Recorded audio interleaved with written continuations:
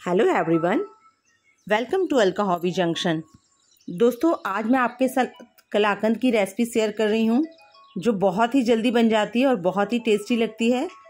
तो चलिए वीडियो को स्टार्ट करते हैं और बनाते हैं कलाकंद। और यहाँ पे मैं बनाने वाली हूँ केसरिया कलाकंद।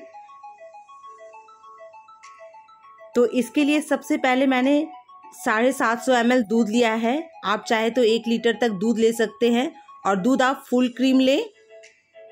इसको हम अच्छे से सुखाएँगे। दूध को हमें अच्छे से पकाना है। दूसरी तरफ़ मैंने एक लीटर दूध लिया है, जिसका हम पनीर बनाने वाले हैं।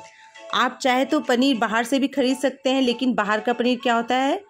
उतना फ्रेश नहीं होता है। और यहाँ पे मैंने रूम टेम्परेचर वाला दूध लिया है, जिसमें थोड़ा सा केसर डालकर इसको भिगो दिया है। ये बिल्कुल ऑप्शनल है। अगर आप केसर या कलाकंद बनाते हैं, तभी आपको केसर डालने की ज़रूरत है, नहीं तो केसर डालने की आपको बिल्कुल ही ज़रूरत नहीं है। तो अब जो मैंने एक लीटर दूध लिया है, उसको मैं अच्छे से गर्म कर लूँगी और फिर उसको नींबू डालकर फाड़ लूँगी। जैसा कि आप घर में पनीर फाड़ते हो ना, बस वैसे ही आपको फाड़ लेना है दूध को। ये देखिए, हमारा दूध फट गया है।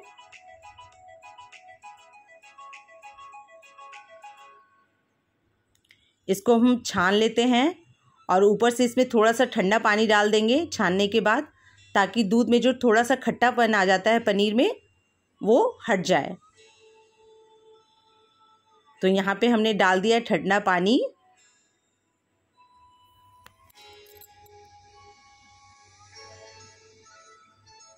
और इसका सारा पानी हम अच्छे से निचोड़ लेंगे। इधर देख सकते हैं हमारा दूध भी बॉयल हो चुका है, लगभग आधा हो चुका है बॉयल होकर, और पनीर को भी हम अच्छे से मसल लेंगे। क्योंकि इसमें गुठलियाँ गुठलियाँ ना रहे तो इसको हम अच्छे से हाथों से मसल लेते हैं।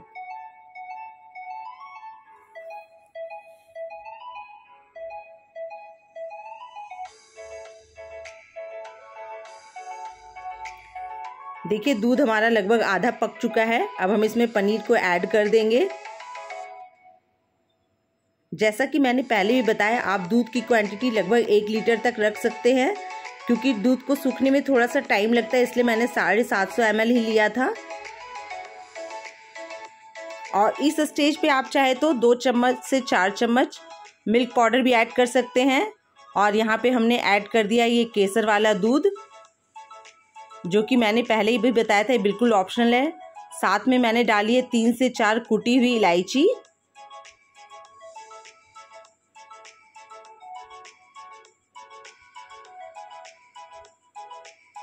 और मैंने डाला है शुगर शुगर आप अपने टेस्ट के अकॉर्डिंग डालें, जितना आप मीठा पसंद करते हो।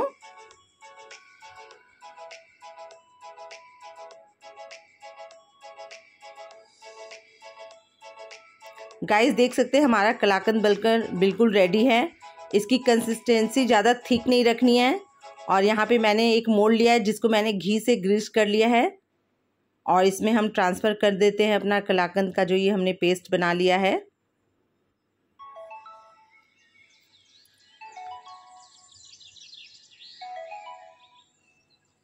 अब इसे हम थोड़ा सा डैप डैप कर लेते हैं और चम्मच से प्रेस कर देंगे ताकि ये बिल्कुल सेट हो जाए।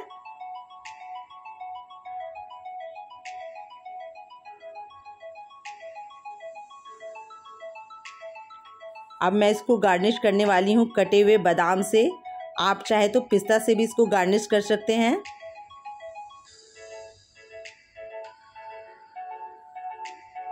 साथ में मैंने डाल दिया है केसर के कुछ धागे। अब हम इसको पहले रूम टेम्परेचर में रखेंगे, उसके बाद इसको एक से दो घंटे हम फ्रिज में रख देंगे। पहले हम इसे थोड़ा सा ठंडा कर लेंगे, तब हमें फ्रिज में रखना है। ये देखिए हमारा कलाकंद बिल्कुल बनकर सेट हो चुका है। अब चलिए हमको इसको पीसेस में कट कर लेते हैं। दोस्तों, आप देख सकते हैं ये कितना अच्छा लग रहा है।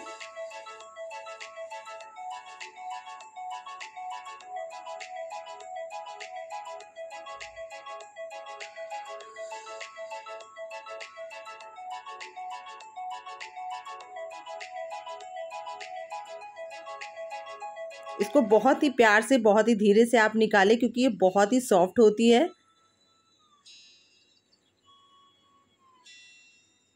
तो दोस्तों, देखिए, हमारा कलाकंद बनकर बिल्कुल रेडी हो चुका है।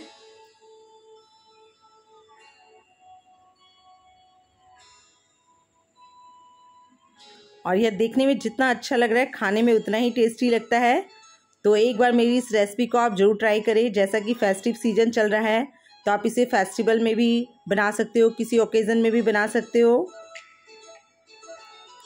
तो गाइज़ मेरी आज की वीडियो कैसी लगी, ज़रूर बताइएगा। और हाँ वीडियो अच्छी लगी तो बस वीडियो को लाइक शेयर करना बिल्कुल ना भूलें। और अगर चैनल पे नए हैं तो प्लीज़ चैनल को सब्सक्राइब कर दें। तो आज के लिए बस इतना ही, मिलती हूँ नेक्स्ट वीडियो में, तब तक के लिए बाय बाय